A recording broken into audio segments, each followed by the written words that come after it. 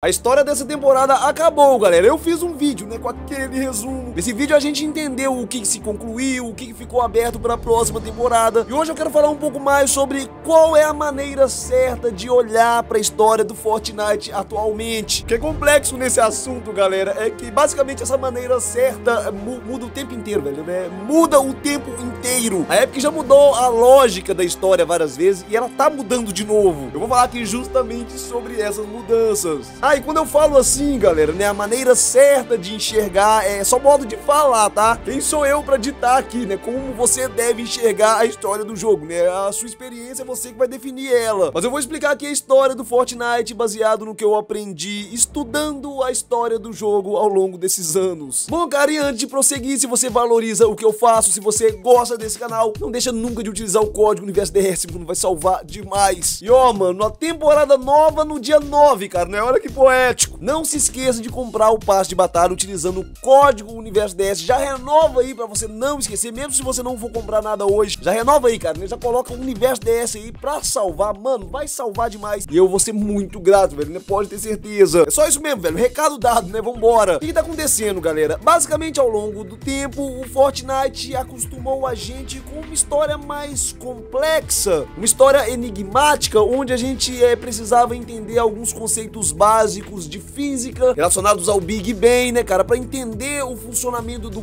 ponto zero, energia vital da ilha do Fortnite. Fora as questões envolvendo loops temporais, né, cópias geradas pelo loop. Essas cópias são um momento registrado do passado de um personagem, mas ao mesmo tempo esse passado tem autonomia, tem vida própria, podendo até mesmo seguir um destino diferente do original, mano, seguir uma outra linha temporal, que confuso, que complexo. Se tudo já não fosse é, complicado o bastante, a gente ainda tem os acontecimentos soltos, né, que se amarram com outros acontecimentos de outras temporadas do passado, coisas do capítulo 3 amarradas a coisas lá do capítulo 1, que teriam desfecho no capítulo 2, que fazem referências de coisas que vão acontecer no capítulo 5, que é uma revelação de algo que ficou em aberto no capítulo 3. E basicamente é assim que nós sempre conhecemos a história do Fortnite. Por mais que quem tá acompanhando há anos, né, desde o início, acha tudo isso muito fantástico. A verdade é que dá muito trabalho começar a acompanhar essa história, entender toda essa bagunça. E quanto mais o tempo passa, mais vai ficando complicado, porque mais informações estão se acumulando, mais vai ficando difícil a história atrair a atenção de mais pessoas. Talvez até por isso não tenha é, praticamente nenhum canal é, falando da história, né, falando sobre a lore do jogo. E toda essa complicação pode ter feito a Epic é, mudar drasticamente a forma como ela entrega a história. A história da temporada atual, galera, a temporada 2 do capítulo 4, é uma história muito simples, muito mesmo. Como vocês viram, né, no resumo, as coisas se resolvem fácil, não tem grandes ameaças, não tem um risco da realidade acabar. Mano, durante o capítulo 2, velho, praticamente em toda a temporada parecia que a gente tava à beira de um apocalipse, mano. É sério. Se você pensar bem da temporada 4 em diante, velho, né, qualquer temporada tinha história pro capítulo acabar, velho, né? Justificaria um fim de capítulo em qualquer temporada, principalmente hoje, sabendo que os capítulos têm é, a duração de quatro temporadas apenas. Da temporada 4 em diante, qualquer temporada poderia ter sido a última temporada do capítulo. Na temporada 4, o Galactus poderia ter consumido toda a realidade. Na temporada 5, o ponto zero poderia ter implodido e sugado tudo. Na temporada 6, o Pináculo poderia ter corrompido toda a realidade, né? Também poderia ter sido o fim da realidade. Na temporada 7, mano, tinha uma nave gigante em cima da ilha, né? Com um canhão enorme. Essa nave poderia realmente ter destruído a ilha. E no final, de fato, essa invasão acabou levando o fim da ilha, né? Mas isso só se desenrolou na temporada seguinte, a temporada 8. A realidade estava sempre em perigo, mano. Eu acho que até por isso, é, é, durante o capítulo 2, teve muitas teorias sobre o mapa antigo voltar. Mas essa é uma característica que ficou no passado. Nessa temporada, mano, tivemos algo muito menor, uma pequena disputa de clãs ali local que se resolveu com diálogo e persuasão. Por outro lado, galera, esse capítulo, o capítulo 4, tem uma característica que era muito forte lá no capítulo 1 e muita gente não percebeu. Pelo menos eu não vi ninguém falando sobre isso. A história do capítulo 1 era contada de uma forma bem diferente da história do capítulo 2. No capítulo 2, a história principal de cada temporada ia se desenrolando a cada semana e no final essa história estaria ligada diretamente à história da temporada seguinte. Temporada 1, as equipes Alter e Ego disputavam a ilha. Essa disputa evoluiu, essas equipes criaram bases e passaram a ser chamadas de Sombra e Espectro. No calor da disputa, o Midas construiu um grande dispositivo e acabou inundando toda a ilha. Da temporada 3 pra temporada 4 não teve tanta conexão não, velho. O Galactus realmente é, chegou do nada querendo devorar o ponto zero. Mas depois a história continua. O Galactus deixou o ponto zero exposto, ameaçando a realidade. O Jones tentou resolver e acabou não conseguindo. Exatamente por isso ele contou com a ajuda do Fundação. O Fundação foi lá dar umas porradas no ponto zero, né, cara? É o do Dwayne Johnson, esperava o quê? E logo em seguida ele trouxe o Pináculo para curar o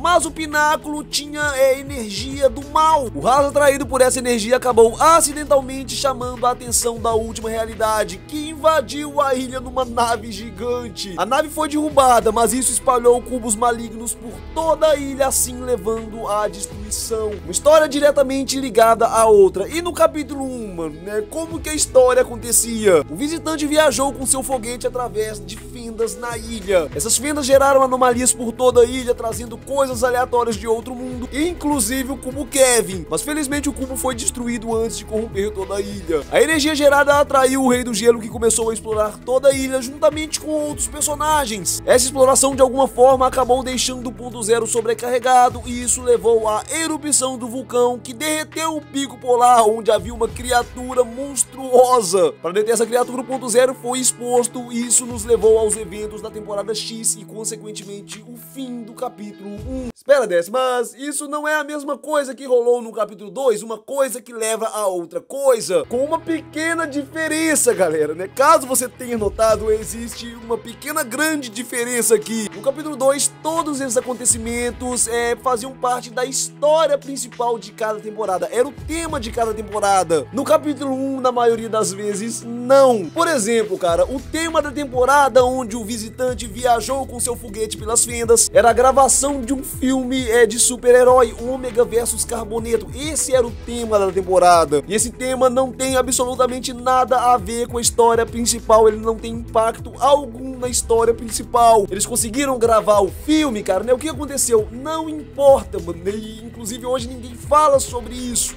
O que aconteceu na história daquela temporada é não importa. A chegada do Cubo Kevin lá no capítulo 1 rolou é numa temporada onde o tema era colisão de mundos. O Cubo até teve um certo destaque, né? Ele ficou movimentando por toda a ilha, mas várias coisas estavam surgindo, né? Não só o Cubo, inclusive o atemporal. A temporada acabou girando muito em torno do atemporal, né? Tinha tela de carregamento, tinha muitas teorias relacionadas a essa skin. Só que a única coisa importante dessa temporada era o Cubo, mas nada. Enquanto isso, lá no capítulo 2, mano, né, a temporada onde a gente teve os cubos se chama Ao Cubo. O nome da temporada que o ponto zero ficou exposto se chama Ponto Zero. E mesmo a temporada 6, né, que tem um nome nada a ver, Primal, tudo nessa temporada girou em torno do Pináculo, e era o que importava para a história. No capítulo 2, a história principal do Fortnite é contada através da história principal de cada temporada, enquanto lá no capítulo 1 um, a história principal é contada nos acontecimentos acontecimentos em segundo plano. Cara, presta atenção. Não é exatamente isso que está acontecendo nesse capítulo, mano. O capítulo 4 tem funcionado exatamente assim. Na temporada 1 nós tivemos ali os juramentados, né? O Eterno, a M. Mas a única coisa que importava no final das contas era o portal. Agora, mais uma vez, nós tivemos uma temporada sobre clãs. A disputa de clãs se resolveu, mano, né? Mas provavelmente a única coisa que vai ter peso na história são as rachaduras. Essas rachaduras, inclusive, eu acredito que é, no futuro nós vamos entender que elas têm relação diretamente com o portal, mano, né, com a abertura do portal. É muito provável que é, o Homem Sem Forma, né, está por trás fazendo alguma coisa e é isso que importa, velho, né? A história da temporada é só um mero entretenimento, como era lá no capítulo 1. Não é para ser levado tão a sério, né? Talvez até por isso muita gente tá reclamando. Eu, inclusive, é, me chateei um pouco com essa história, eu confesso. Mas dessa vez eu estou aqui tentando entender qual que é a proposta da Epic, pra eu não superestimar a história também, velho. Né? A, gente não pode cair nunca no erro de superestimar algo. Talvez realmente essa história está sem graça porque ela não é para ser levada a sério, o que é